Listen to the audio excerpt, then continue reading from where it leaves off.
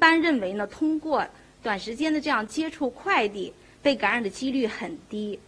在有新冠病毒传播的地区，接收快递呢，我们还是尽量采用这种智能的接收箱，这种来极大的减少人人就是人与人之间的这种接触，那么极大的降低这种呃传播的风险。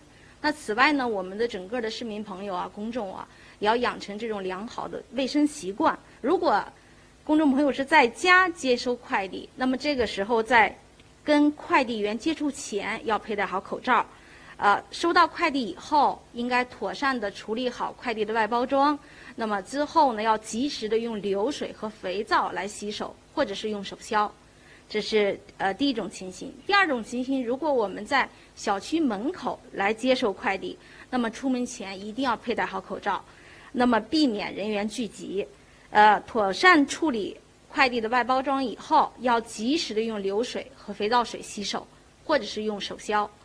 呃，第三种情形，在对于有条件的地方，那么专门有这种快递这种物品的投件箱，那么这个时候呢，要请快递员呢将这种物品呢放在这个投递箱里。那么这个时候出门前呢，也是要取快递的时候也要佩戴好口罩。